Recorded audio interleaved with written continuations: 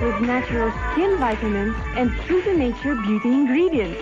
pH balance kaya sa akin, no dryness, no irritation. Bagay na bagay sa atin. Natural na bagay.